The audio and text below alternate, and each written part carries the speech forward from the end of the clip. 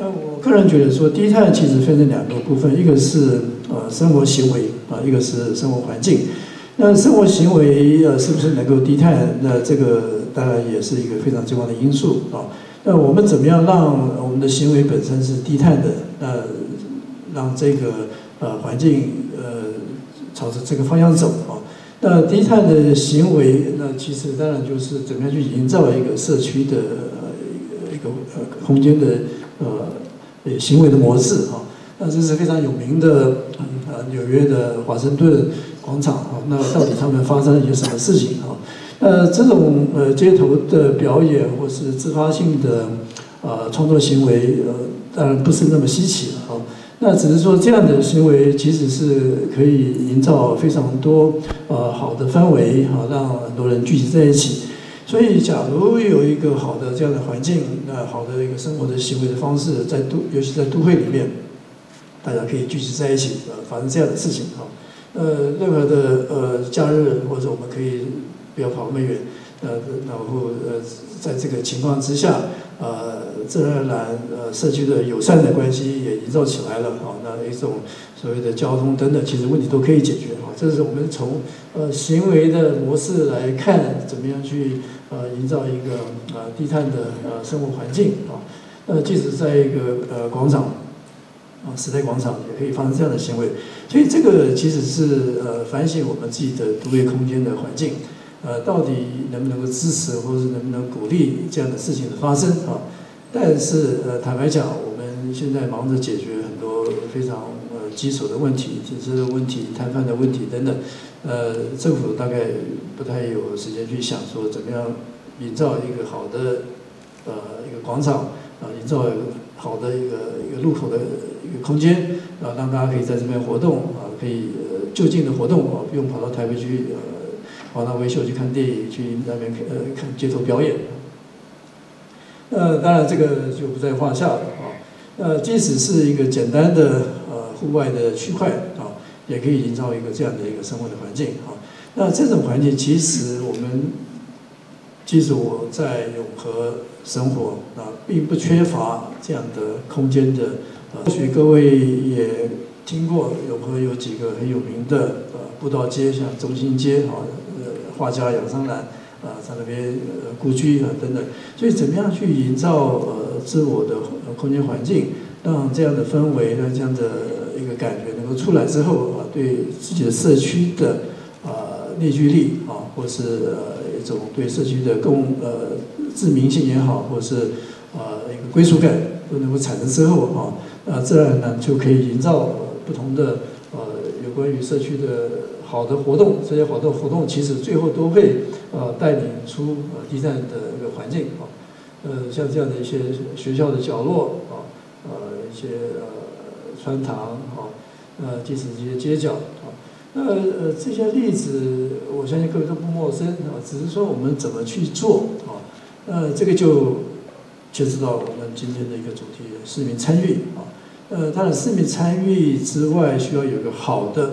规划跟好的一个引导的方向，那这个就是呃，不管是我们的专业者，或是呃这个呃政府单位，去好好的去规划啊，怎么样呃投资有限的资源呃，在呃有呃可有机会的一些空间里面，能够对自己的环境呃投入情感呃去开始经营啊，呃，再借着专业者给予适当的呃。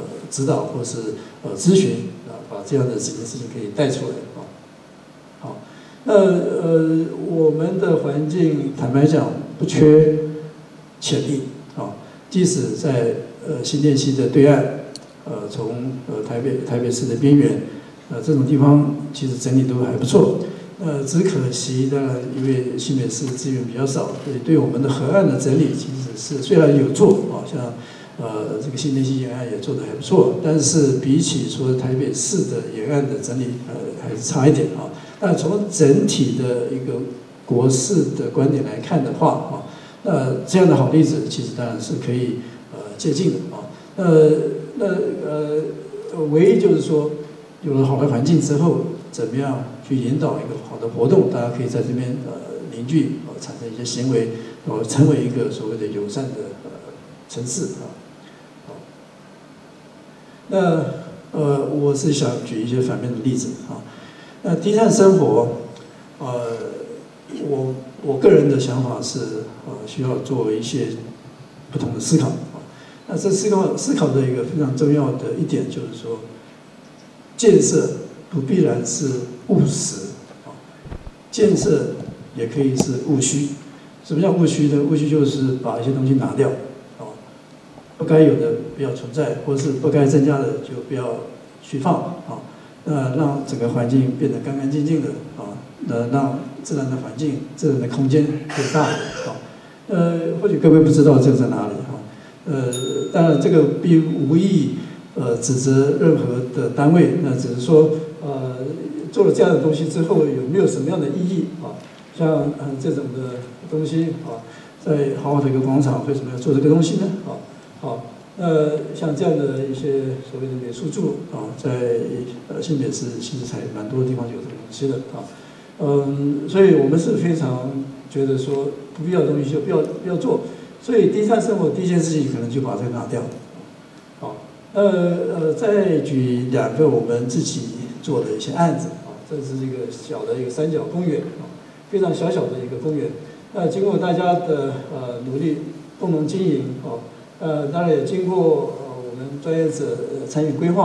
啊，呃小小的一个公园，大家一起呃规划营造啊，去呃盖砌砖等等啊，然后到后来去发展这个呃一个大家可以聚在一起的呃一个小公园啊，都非常高兴啊。虽然呃整个造价也不过几十万，也许跟呃刚刚那个环保局副局长提到的。他们支持很多这样的小的营建行为，但是这个营建行为的成效其实是非常有意义的啊。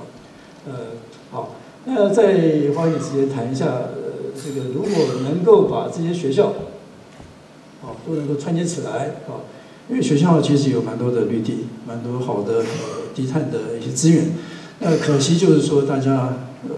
自我封闭啊，围在围围起来之后，你看不到我，我也看不到你。里面再好的环境，外面没办法分享啊。所以我们另外一个在推动，就是说怎么样让这些学校啊的围篱能够开放。呃，开放出来之后，大家可以分享。那我只是举一个呃我自己做过的三峡的一个小学的例子啊。那如果能够呃稍微放开一点，那大家能够分享的话，那这是我们学校的外面的回廊啊。